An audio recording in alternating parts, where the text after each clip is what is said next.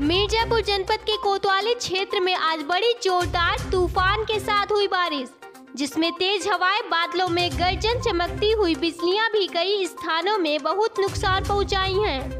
और पानी से भरे हुए खेत की क्यारियाँ भरी हुई हैं, जिसको देखकर एक तरफ़ किसानों के मन में खुशी छाई हुई है।